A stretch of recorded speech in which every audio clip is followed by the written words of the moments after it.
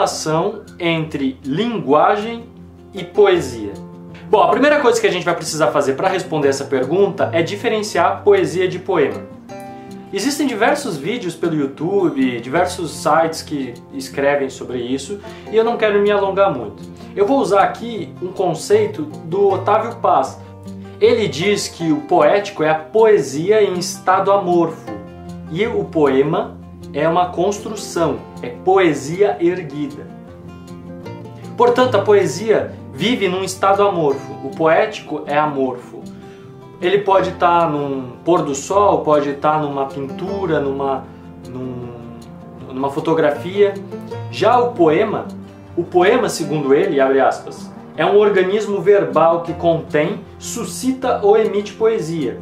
Forma e substância são a mesma coisa. Ou seja, não é porque um, poe um trecho está escrito com rimas, com ritmo, é, com métrica, em formato de soneto, que ele realmente é um poema. Para que ele seja um poema, ele precisa conter, suscitar ou emitir poesia.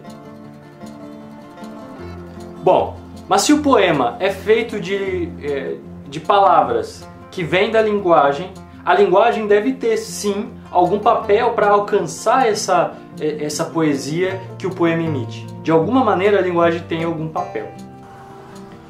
E para chegar nela, eu quero reviver aqui alguns ensinamentos de Ferdinand Saussure, que foi o pai da, da linguística e também do estruturalismo.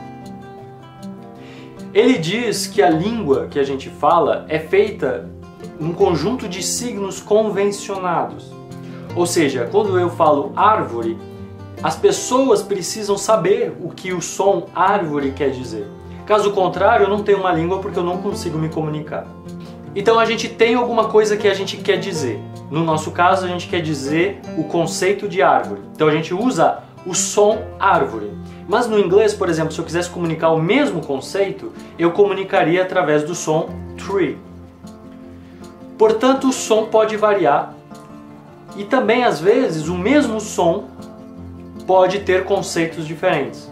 E essa é uma coisa chamada arbitrariedade, é uma característica da língua. Os signos são arbitrários. Por quê? Porque o som e o conceito a que ela se refere podem variar.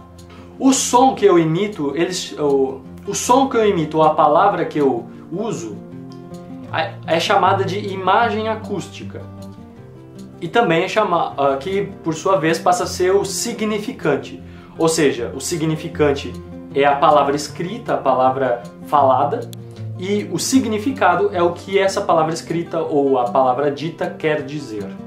Outro, outro fator interessante é que, à medida que a gente adiciona novas palavras, ou seja, árvore e árvore frutífera, eu acabo passando dois conceitos, mas eu também acabo restringindo o que eu quero dizer. Quando eu falo somente árvore, eu estou falando várias árvores. Quando eu falo árvores frutíferas, eu estou diminuindo a quantidade de coisas a que eu me refiro. Isso faz com que, por exemplo, a prosa tenha uma sensação de aprisionamento, de, uh, de prisão do estado natural da linguagem. Por quê? Porque a prosa é uma palavra seguida da outra, ou seja, existe uma linearidade, que é, é um outro aspecto, além da arbitrariedade, é a linearidade, que diminui a, a vamos dizer assim, a capacidade, gama de, de, de, possibilidades que uma palavra dá. Então, se eu falo apenas árvore, eu estou falando de milhões de espécies. Se eu estou falando árvore frutíferas, eu diminuo esse número. E a prosa, ela vai ser nesse sentido, tentar passar uma ideia o mais afinado possível com aquilo que se tem de conceito.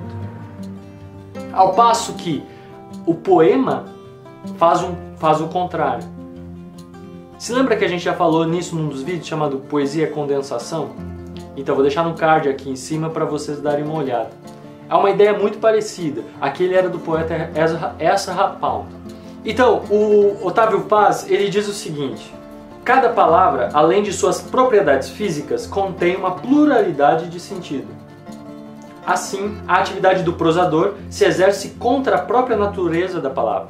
Ou seja, se a palavra tem diversas possibilidades, eu vou lá e diminuo essas possibilidades através da prosa. Por isso que ele diz que vai contra a linguagem. Um vídeo onde a gente fala sobre isso aqui no canal é o que eu, que eu me refiro a desaprender a ser adulto. Ou seja, a gente precisa parar de enxergar pão como sendo só pão, mas a gente precisa abrir o leque das possibilidades daquela palavra. Então eu vou dar mais um exemplo. Se eu falo ela morreu, eu estou falando que alguém morreu, certo? Uma pessoa feminina morreu. Se eu falo ela morreu atropelada, eu estou dizendo como ela morreu e estou diminuindo cada vez mais a possibilidade que esse morreu tem. Agora, se eu falo ela morreu de amores, eu também estou mudando completamente o sentido disso. Ou seja, a adição de palavras vai cada vez modificar mais o significado da palavra morreu e vai restringir para diminuir a gama dessas possibilidades. Bom, acho que ficou claro que a prosa restringe a gama de possibilidades de uma palavra. Agora, e na poesia? Ou melhor, e nos poemas? Bom, a ideia é que os poemas façam com que a linguagem volte à sua natureza primeira, que a gente acesse a linguagem de maneira nua e crua. Ó, a linguagem recupera a sua originalidade primeira, mutilada pela redução que a prosa e a fala cotidiana lhe impõem. Isso afeta os valores sonoros e plásticos tanto quanto o significado. É por isso que muitos poetas dizem que a matéria-prima do poeta é a palavra. Mas não a palavra objetiva, cebola, mas sim o conceito de palavra, de signo. Ou seja, o poeta não se utiliza apenas do seu significado único, ele se utiliza da vasta gama de possibilidades de uma única palavra e também do seu efeito sonoro.